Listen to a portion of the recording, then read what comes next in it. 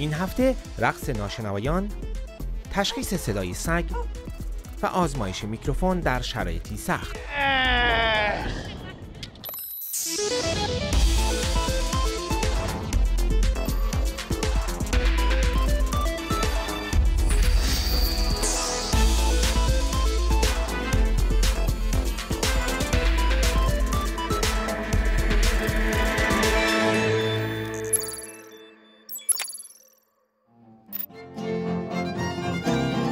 یکی دو هفته پیش روز موسیقی بی بی سی بود در چنین روزی دو هزار برنامه در نقاط مختلف بریتانیا برگزار میشه و صد برنامه از شبکه مختلف تلویزیون، رادیو و دیجیتال این برنامه ها رو پوشش میدن.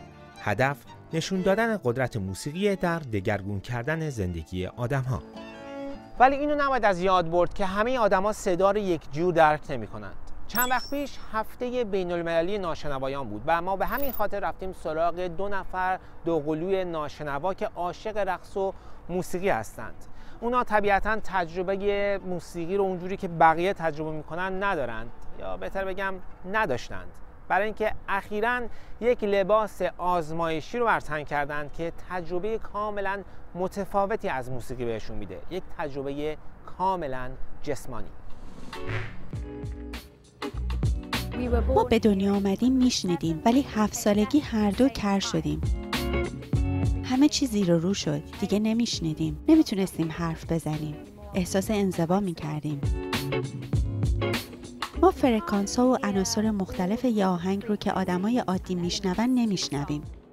یه مقدار از ارتعاش های بیس رو میشنویم. ولی بقیهش یه سری سر صدای مبهمه. هر وقت میریم کلاب همه میرن وسط میرقصن. آدم احساس می‌کنه عقب مونده. انگار یه کاری بقیه بلدن که تو بلد نیستی. یا یه چیزی همه می‌دونن که تو نمی‌دونی. مثلا آهنگی که داره پخش میشه. بعضی وقتا اگه گوش یا دستتو بچسبونی به دیوار یا به بلنگو صدای بیس رو بهتر میشنوی. ولی بازم اینجوری نیست که همه صداها رو بشنوی و بفهمی آهنگ چیه. وقتی آدم میره کنسرت به خصوص اگه ناشنوا باشی چیزی که احساس می‌کنی ارتعاشیه که از کف سالن یا از هوا بهت منتقل میشه. و اگر بیس خیلی قوی باشه حوالی شکمشون لرزش رو احساس می‌کنن. ما یه نرم افزار جدید ساختیم که موسیقی رو می‌گیره تفسیرش می‌کنه و تبدیلش می‌کنه به داده لمسی. و از طریق وایرلس میفرسته به پیراهنی که تنشونه. در واقع فرکانس های مختلف یک قطعه موسیقی رو به چهار دسته تقسیم می کنیم و هر کدوم رو به یک بخش لباس میفرستیم که تجربهشون از اتفاقی که داره رخ میده دقیق تر باشه. یعنی هم صداهای متوسط رو حس کنن هم صداهای زیر رو هم بیس رو و هم ترپل اینجوری تجربه موسیقیاییشون به مراتب غنیتر میشه.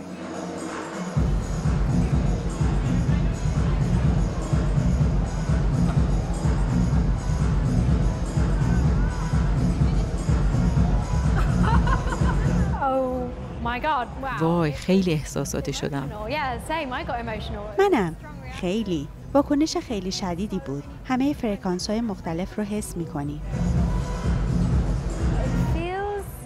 انگار آهنگ ضرب های مختلف داشته باشه. یعنی تو زمان های مختلف ضرب های مختلف حس می کنی. یه جای بدنت یه چیز حس می کنی یه جا دیگه یه ارتعاش دیگه. آره انگار سازهای مختلف بزنن. نمی‌تونم توصیف کنم. باید خودت امتحان کنی تا بفهمی چی میگم. فقط می‌تونم بگم که خیلی متفاوته.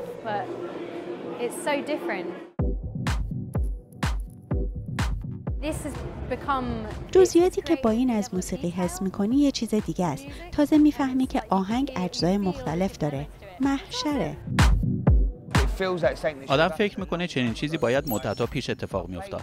مثلا یه ریف پخش کردم. دف ریف دیگه بیس از اون بیشتر نمیشه. خیلی خفن بود. یه همچین چیزی باعث میشه آدم ها به هم نزدیکتر بشن به جای اینکه حالت دلسوزی پیدا کنن. وقتی یکی میاد با ویلچر یا گوشش نمیشنوه یا هرچی آدم ها سریع میرن تو فاز دلسوزی. ولی با یه چیزی مثل این لباسه صاف میری وسط جمعیت. می‌دونی چی میگم؟ بیشتر ناشنواها توی کنسرت با هم حرف می‌زنن. یعنی وقتی موسیقی رو نمیشنوی فقط معاشرت می‌کنی. ولی این لباس رو که دادم دوستان پوشیدن همشون یهو چشاشون گشاد شد. اینجوری بودن که با این آهنگ قشنگ میشه رقصید. به نظرم ابتکار خیلی مهمیه. برای اینکه مسئله آدم های مثل ما صرفا دسترسیه تجربه کردنه. و خب با چنین چیزی ما می‌تونیم موسیقی رو حس کنیم. به نظرم زندگی آدم رو عوض می‌کنه.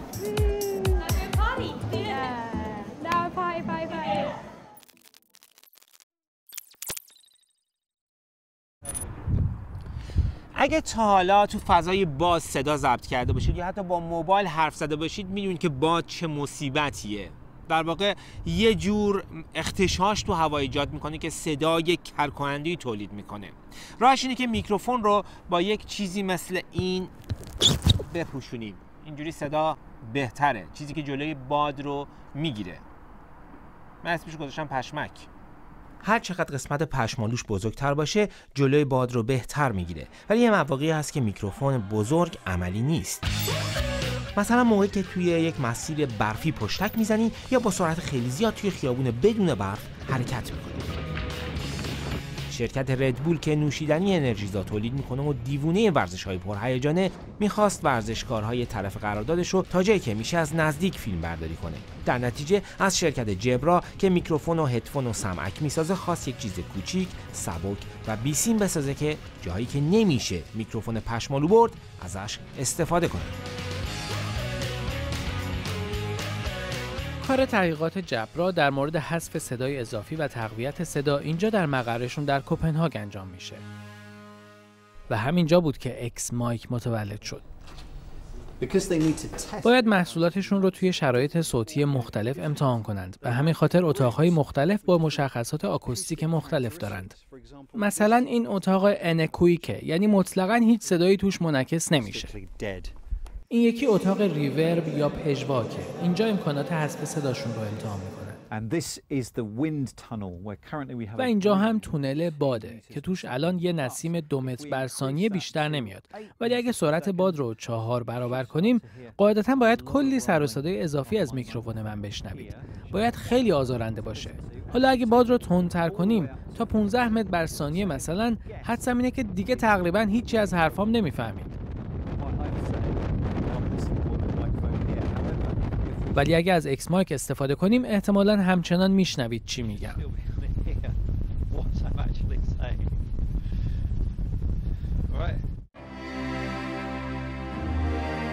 این البته شدیدترین باد تونله. حتی نمونه آزمایشی X Mic هم جواب نمیده. ولی واضحه که از میکروفون ما خیلی بهتره. یه بخش از موثر بودنش به خاطر این پارچه نرم و پرز داره. بخشش هم به خاطر شکل گردشه که خشخش رو کم می‌کنه. و در نهایت فناوری پردازش سیگنال دیجیتال یا DSP که در واقع الگوریتمیه که همزمان با ضبط صدای باد رو از صدایی که می‌خوایم ضبط بشه حذف می‌کنه. کاری که ما کردیم این بود که سالها آزمایش کردیم که فرکانس باد و فرکانس صداهای مختلف رو بشناسیم.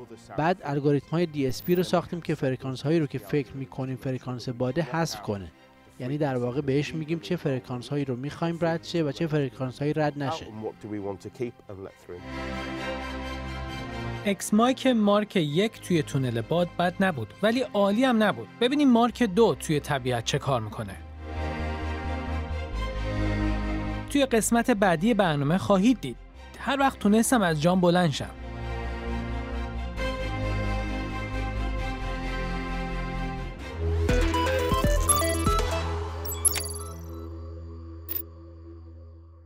این هفته تیم کوک مدیر عامل شرکت اپل به عنوان مشاور یکی از مهمترین دانشگاه های چین معرفی شد و هند اعلام کرد داره آماده میشه تا بزرگترین سامانه تشخیص چهره دنیا رو راه اندازی کنه. نظرتون راجع به قابی شبیه پوست انسان برای گوشی همراه چیه؟ قاب Skin-On انعطاف پذیره، لمس رو تشخیص میده و کمی تا قسمتی عجیبه. گوگل این هفته اعلام کرده که به برتری کوانتومی دست یافته گوگل با انتشار مقاله‌ای در مجله نیچر گفته محاسبه ای رو که یک ابررایانه سنتی در بیش از ده هزار سال حل می‌کنه کامپیوتر کوانتومی این شرکت تونسته در 3 دقیقه و 20 ثانیه انجام بده. گوگل همچنین گفته که ابعاد بالقوه استفاده از این فناوری هنوز باید کشف بشه.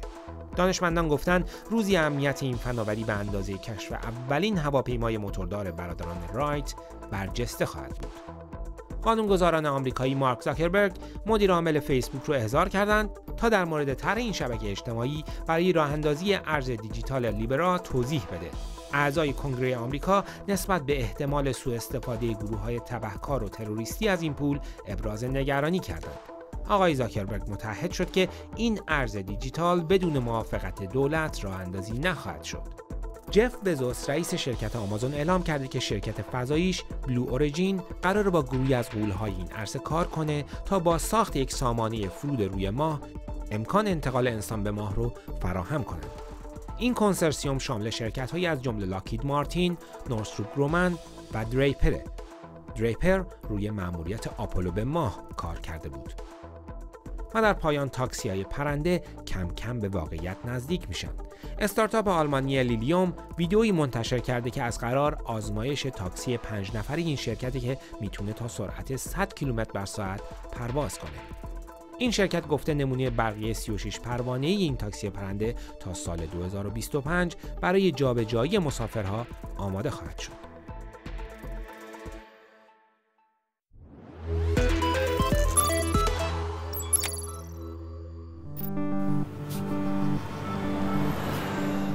صوت چیزیه که همیشه و همه جا اطرافمون هست.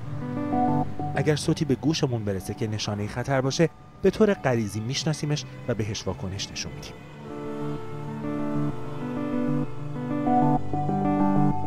ولی در دنیای مدرن روز به روز بیشتر عادت می‌کنیم که خودمون رو از سر و صدای دنیای اطراف جدا کنیم. برای ما آدم ها تشخیص صداهای مختلف امر بدیهی و هر روزه ایه ولی اینکه ابزاری بسازیم که صداهای مختلف رو تشخیص بده اونقدر کار ساده ای نیست. اما یک شرکت بریتانیایی پیدا شده که میگه این مشکل رو حل کرده. اودیو آنالیتیک یه فناوری جدید ساخته که طیف وسیعی از اصوات رو تشخیص میده. با این قابلیت میشه رفتارهایی تعریف کرد که در صورت شنیده شدن اون صدا انجام بشن.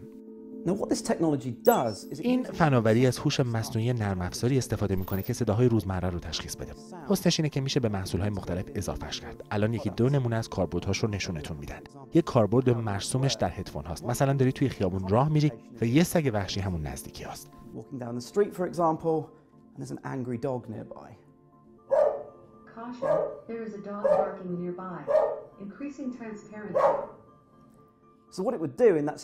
در یه همچین شرایطی به محض اینکه صدای پارس سگ رو تشخیص داد صدای موسیقی رو کم می‌کنه یا کلا قطع می‌کنه و بهتون هشدار میده که یه سگ اون اطرافه.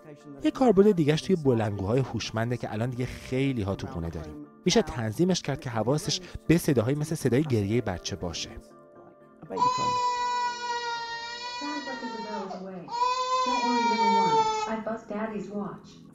تشخیص صدا از اساس با تشخیص کلام فرق می‌کنه. در نتیجه ما باید بعضی از این های اساسی رو حل می‌کردیم. صدای گریه نوزاد ممکنه با صدای گریه نوزاد دیگه خیلی فرق کنه و صدای گریه همون نوزاد در 6 ماهگی با وقتی دو سالی یا سه ساله شده خیلی تفاوت داره. ولی ما به همه این صداها میگیم گریه بچه. یعنی یک شباهت یا یک چیزی مشترکی در همه این گریه ها هست که باید اون رو به ماشین یاد بدیم. اما همونطور که می‌دونید هوش مصنوعی فقط به واسطه داده هایی که بهش داده شده کار می‌کنه. هرچی داده بهتر نتیجه بهتر. بنابراین باید صداها رو زنده ضبط کنن. طبعا ما می‌خواستیم این فرایند رو از نزدیک ببینیم و چی بهتر از ضبط صدای دو سگ خیلی خوب. این یه اتاق انیکویک یا بدون پژواکه؟ البته ظاهرا نیمه انیکویکه.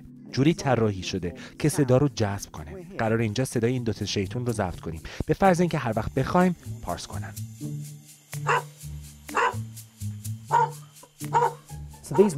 این امواجی که اینجا روی صفحه می‌بینین در واقع نماینده چیزی هستن که میکروفون توی اتاق دریافت می‌کنه. این وسط آستانه پارس سگه که سیستم منتظره بشنوه. وقتی بشنوه و تشخیص بده پارس سگه باید واکنش نشون بده. Hey Monty, I can hear you barking. As it is late and you're home alone, I'm going to alert your owner. Turn on the lights and play some jazz because I know how much you like it. آفرین.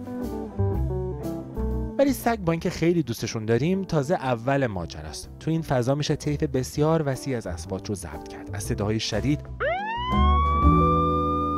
تا صداهای ملایمتر.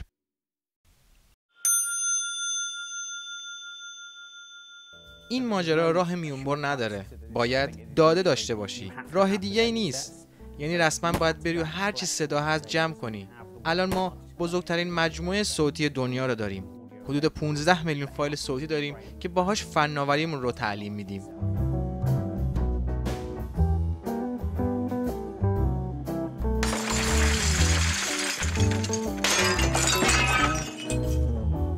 فقط به خاطر فناوری.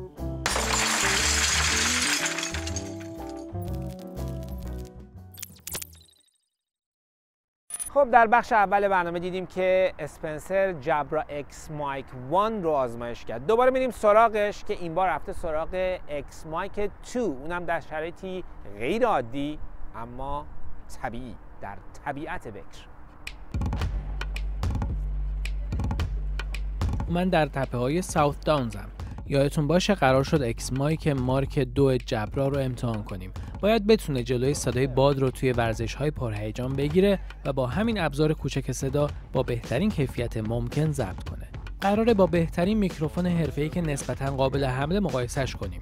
اون میکروفون رو با سیم وصل کردیم به یه ضبط صوت زوم و کلش رو گذاشتیم توی جیب من که حقیقتش برای اینجور ورزش ها خیلی گزینه مناسبی نیست. برای اینکه مقایسمون یکم واقعی تر بشه صدا رو با موبایل و با دوربین گوپرو هم ضبط می‌کنم. حالا فقط باید بدوم مثل برق و باد.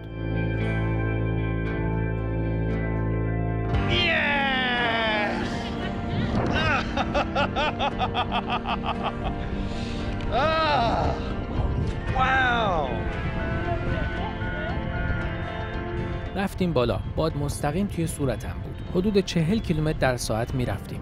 ببینیم صدایی که میکروفون ها ضبط کردن چجوریه.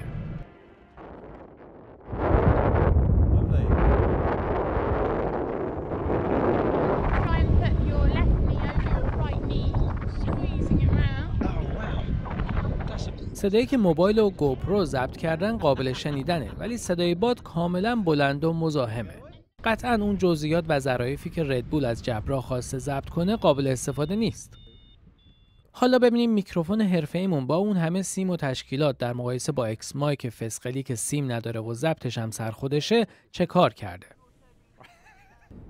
تا این لحظه خودم هم نمی‌دونم این دوتا میکروفون چی دارن ضبط می‌کنن. ولی کاری که می‌کنیم اینه که وقتی تماشا می‌کردیم از میکروفون معمولی میریم روی اکس مایک ببینیم فرقش چیه. و حدسم اینه که بلافاصله تفاوتش رو می‌فهمید. صدای اکس مایک باید به مراتب صافتر باشه و تقریبا صدای باد نداشته باشه. بله هرچند صدام در هر دو حالت کاملا واضحه ولی باد پس زمینه به وضوح کم شده. اونقدر کم شده که حتی صدای جس که پشت سر منه هم میاد. داره در مورد پاراگلایدینگ در هیمالیا حرف می‌زنه. پاراگلایدینگ توی ارتفاع 12000 پایی چجوریه؟ خیلی فرق داره؟ خیلی. منظره بالای کوه یه چیز دیگه است. تغییر آب و هوا و حس ابر هم خیلی فرق می‌کنه. ضمن اینکه کلی پرنده های بزرگ و قشنگ می‌بینی. مثلا لاشخورایی خیلی گنده.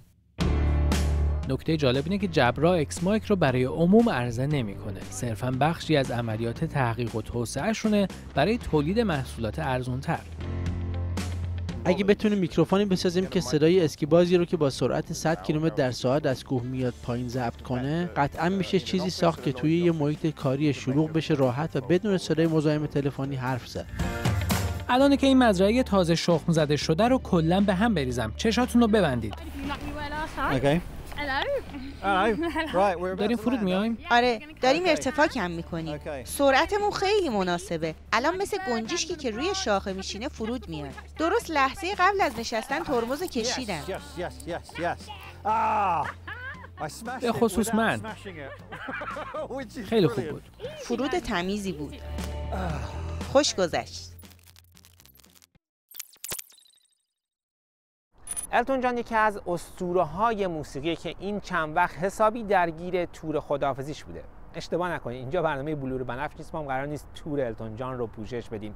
هدف ما معرفی ابزاریه که در این تور بسیار مورد استفاده قرار گرفته. گزارش همکارم عمر محتاب رو ببینید. اینجا زیگودوم آمستردامه. چند شبه که سر التون جان برنامه اجرا می‌کنه. بخشی از تور خداحافظیشه. یه چیزی به اجرای هر شبش اضافه کرده به اسم پیکس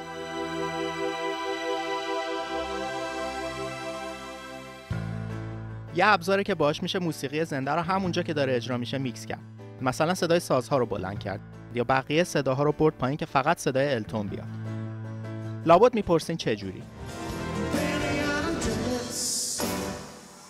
اول اینکه موسیقی روی سیستم پیکس ضبط میشه. صدای صحنه رو که از 95 کانال مختلف میاد تفکیک می‌کنه و به پنج دسته مختلف موسیقیایی تقسیم می‌کنه. اون پنج میکس رو میفرستن اینجا پشت صحنه و بعد به شکل موج رادیویی با سه تا فرستنده پخش می‌کنن. برای اینکه خیالشون راحت باشه همه سیگنال رو می‌گیرن پنج تا فرستنده اضافی دائم هم بالای صحنه نصب کردن.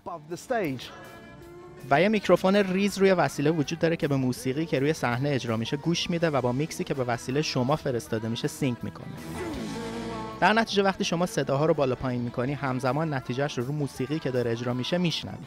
مردم کلی پول میدن بیان کنسرت. بعد میفتن روی یه صندلی بیخود. اگه بشه صدا با کیفیت بهتر بهشون برسه همه راضی تر میشن. اجرا التون الان شروع میشه. ببینیم سیستمشون چجوری کار می‌کنه.